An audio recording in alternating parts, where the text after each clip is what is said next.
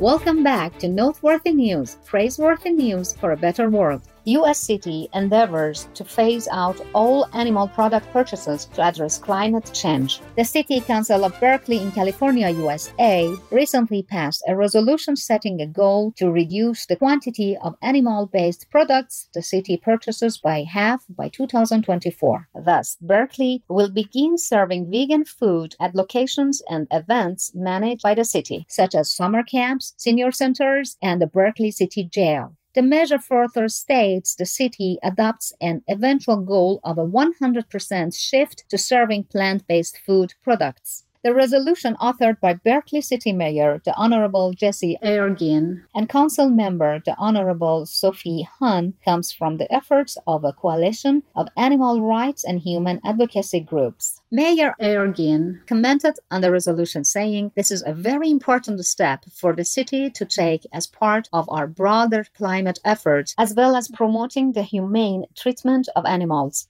Berkeley is the first city council in the US to move towards a completely plant based food purchasing program. Our tremendous appreciation, City of Berkeley, and all organizations involved for this momentous decision. May your courageous example be followed by all cities and countries around the world to soon realize a vegan world for everyone in heaven's delight. Vegan, because we want to teach our children to be loving and kind